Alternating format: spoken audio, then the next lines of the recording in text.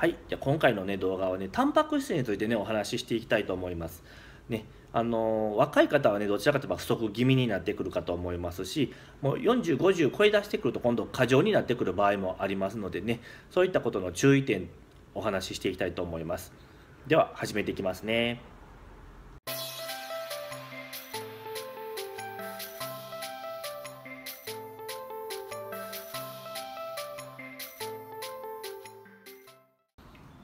それではね今日はタンパク質についてお話ししていきたいと思います。これですねタンパク質ってねどんなものがあるかっていうのをまず知っておいてもらえたらいいと思います、まあ、簡単にいけばもう肉とかね魚とか卵あと豆類ですよね。まあ、動物性タンパク質って言って動く動物のものですね。肉魚卵。あと植物性のものとしてはま大豆なんかがねすごく有名かと思います。で実際にそのタンパク質食べてどうなっていくのか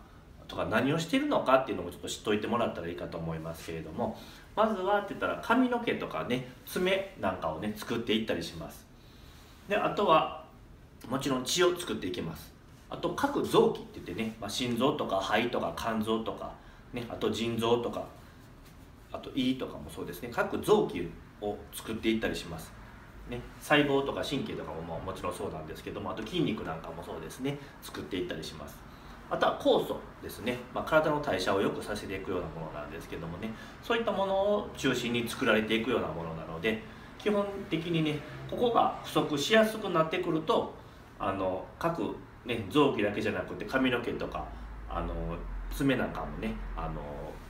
例えば髪の毛やったら、まあ、あの髪の毛抜けやすいとかパサパサするとかね。特にあの出産後の、ね、女性の方なんかは髪の毛すごい抜けやすいとか血がやっぱし不足してくるとね髪の毛とか爪に栄養っていかなくなってくるので最初はまあ多分貧血症状とかも出やすくなると思いますしよくよく見ていてたらそういえば髪の毛なんかいつも枝毛やなとかなあの髪の毛すぐ抜けるとか爪筋筋がいきやすいとかすぐ割れるとかねそういった症状が出てきやすくなります、まあ、漢方でいう気虚とか血虚っていう症状ですね。あとはまあ爪が割れやすいのほかいつもしんどいとかいつもふわふわとかめまいとか立ちくらみなんかがね起きやすい方なんかも多いと思います。そういう場合って大体タンパク質取れてなかったりします。もちろん糖分とか脂肪分も少なかったり取れてなかったりする方も多いと思います。あとは全体的に酵素がねあのなくなってくると全体的に代謝が落ちてきますのでね、同じように人と同じように動いてたとしてもなんか自分だけうまくいかないとか自分だけすごく疲れているとかそんな症状が出てくる方も多いと思います。であとはまあ疲れやすいとかねあと免疫力がねガクッと低下しやすくなりますからちょっとしたことでね風邪ひいたりとかインフルエンザとかすぐかかったりとかする方も多いかと思います。ね。からまあそういう方はって言ったらまあお肉類とかお魚とか卵、ね、あと大豆系の豆類そういったものをぜひね取っといていただけるといいかと思います。まああの全体的に見てる限りでは女性の特にねまあうんと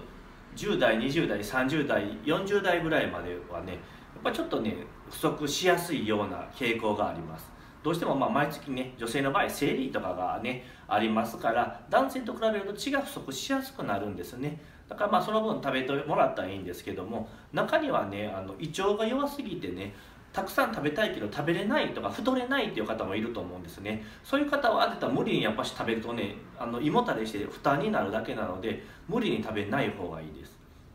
まああの食べれそうだったらもちろん食べてもらったらいいんですね。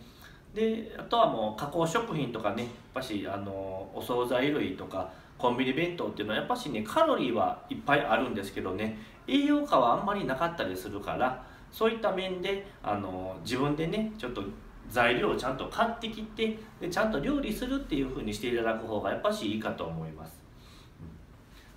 でじゃあたくさんタンパク質食べたらいいんかなっていうので食べ過ぎたら食べ過ぎたでまた問題が出てきます。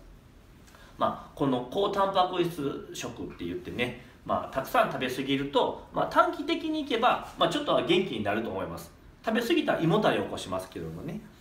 まあ、短期間で調子よくなったらまあ普通食に戻すっていうやり方であればいいんですけども長い間もずっとたくさん食べたらいいっていうのばっかりなんかね、あの偏ってしまった感じに考え方になっちゃうとあのちょっと良くないですよっていうのがあります。まあ、タンパク質って言ったらねまあ、あの窒素化合物とか硫黄化合物っていうのをちょっと含むものがあるんですねだから食べていくとねあの代謝産物としてね、まあ、有害物質っていうのを作り出しますまあこれちょっと西洋医学的なことなんでちょっと難しいかもしれないけどもまあ窒素とか硫黄を含むようなねそういうあの体にあまり良くないものを作り出してしまうっていうのがあります。食べ過ぎると余計にね。例えばまあおならとかの匂いとかがすごく臭くなるっていうのとかもそうですよね。であと、まあ、あの腸管循環って言ってね胆汁って言って、まあ、肝臓のすぐ下に胆汁ってっていうのが胆嚢っていうのがあるんですね。そこから胆汁っていうのを出してこってりとか脂っこいものとかも一緒に溶かしたりするんです。でその使ったものをまたね腸管循環ってまた肝臓に戻ってきてあのリサイクルしてるわけなんですけどもそれがね行き過ぎるとまあお肉とか食べ過ぎちゃいますともううまく回っていかなくなったりしてね。で、まあ、大腸がんとか胃がんとか食道がん胆のうがん膵臓がん肝がんとかねっていうふうにあの消化管ですね。食べたらまず食道を通りますよね。食道を通って胃に行ってその後胆のとか膵臓とか行きますよね。十二指腸もそうですけども。でその後小腸大腸っていくんですけどもそこの消化管全部がおかしくなってくるよっていうのがやっぱしあります。食べ過ぎることによってね消化液っていうのいっぱい出すんですけどもそれでも追っつかなくなったりとかね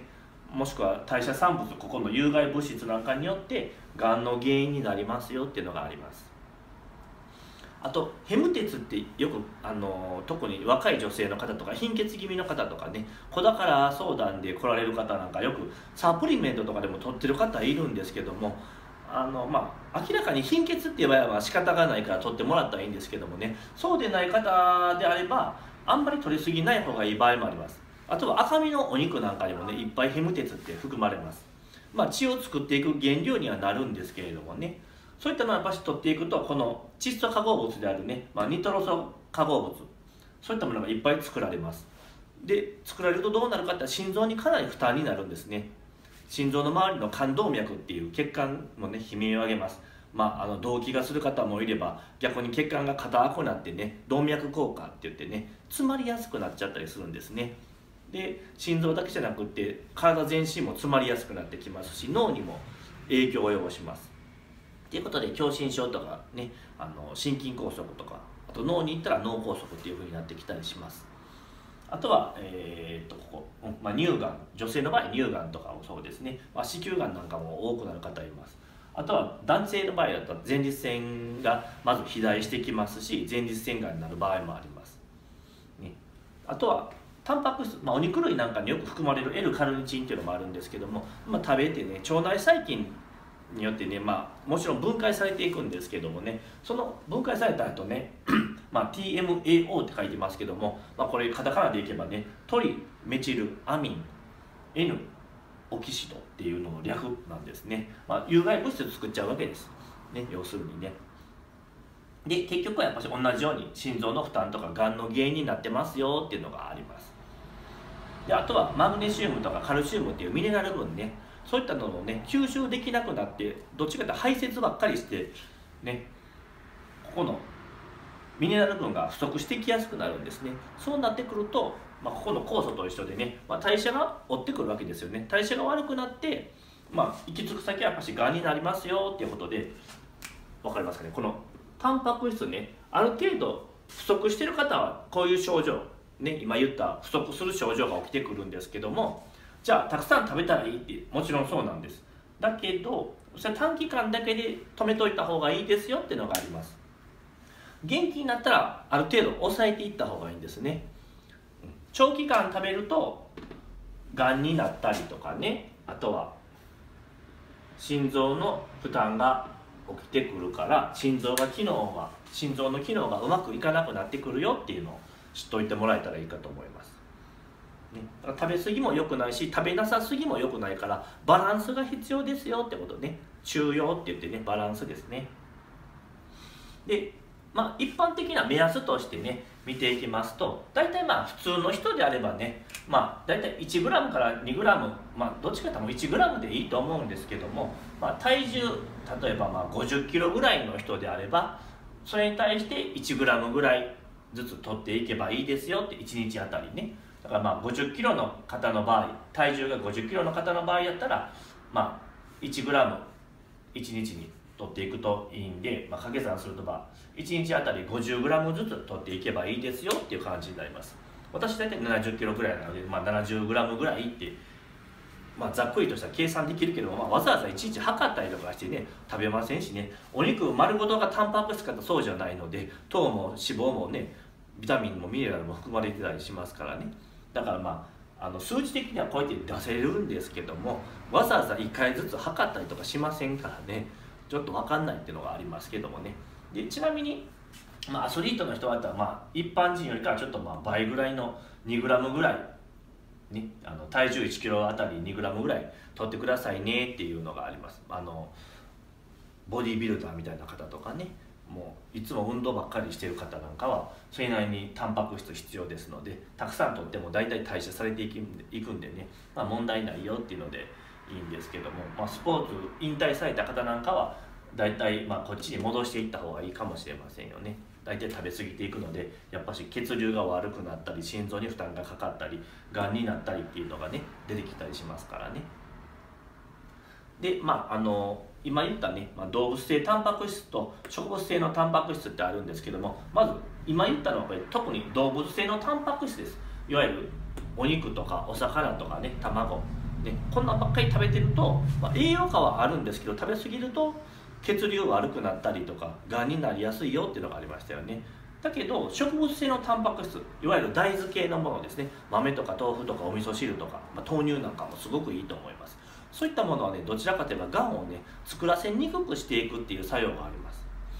だからできたらね動物性タンパク質である肉とか魚とか卵だけじゃなくて豆類ですね。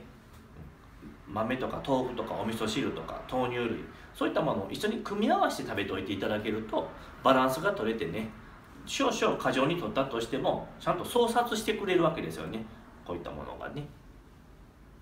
というわけで、まあ、比率的にいけばあの動物対植物性のタンパク質大体まあ6対4ぐらい、まあ、いわゆるまあ1対1ぐらいでもいいんですけどもね。まあ、あのお肉食べる日もあれば魚食べる日もあったりとかすると思うんです。で魚はねどちらかといえばあのオメガ3って言ってね EPA とか DHA って言ってねあの良質な油が含まれますからそういったのもねお魚とお肉とっていうふうにしてもらってもいいと思います。あとできたら毎日ねお味噌汁類とか大豆系とかの食材ねあとはお豆腐類なんかはね毎日食べてる方があの発酵食品として大腸とか小腸にねしっかり栄養を送っていったりしますのでああいう発酵食品は毎日食べてた方が本当はいいかと思います。であとは年代ですね。大体ねもう成長期であればまあ、大体二十歳ぐらいまではねそれなりにねあのエネルギー消費するのと成長するのに必ずタンパク質っていります、ね、ここの血液増やして髪の毛とか爪とか各臓器ね心臓とか肺とか腎臓とか肝臓にエネルギーを送っていかないといけないし筋肉もいっぱい使うわけなんですよね。で代謝を良くさせるためにも酵素が必要やから朝昼晩ってきっちり食べておいてもらった方がいいです。でも30超えてきだすともうそれ以上大きくなることあんまりないでしょ。大体まあ10代後半ぐらいまでで大体身長もぐわーって伸びていくはずなんですけど二十歳過ぎるとそんなに成長しないんです。あとはどちらかといえば老化していくわけなんですよね。20代後半ぐらいからどんどん老化が始まっていきます。そうなっていくと食べ過ぎるとね実はもう負担になってます。胃とか腸の負担になっていくからあんまり食べない方がいいんですね。30代超えてきだしたら同じように朝昼晩で食べてたらだんだんお腹が出てきますからね。で特にって言われたら、まあ、もう50代60代もうここもねあの食べ過ぎない方がいいです。まあ本当はまあ30代ぐらいからちょっとずつ量を減していってた方がいいんですけどね。食べ過ぎると本当消化だけにむちゃくちゃエネルギー使ったりしますのでかえって調子悪くなります。で70代ぐらいまでいくとねもうお肉とかでもたくさんいらないんですね。もう1切れ2切れぐらいあれば十分です。ちょこっと食べるぐらいで十分ですよね。でもう本当胃腸の弱い方っていうのはね食べれば食べるほど胃の消化ですごいエネルギー使われますからむちゃくちゃ疲れます。そういう方は無理に食べなくていいと思います、ね、人によってちょっと違うっていうのはあるんですけれどもね。というわけでね今日はまあタンパク質についてお話ししていきました、まあ、タンパク質って必ずね人間にとっては必要なものなんですよね。まあ基本はねやっぱしね偏りすぎないってことですね。でできたらこの植物性のタンパク質はしっかりとってほしいんです。もう本当にねあの大豆系の食材ぜひねあの毎日取り入れていただけるといいかと思います。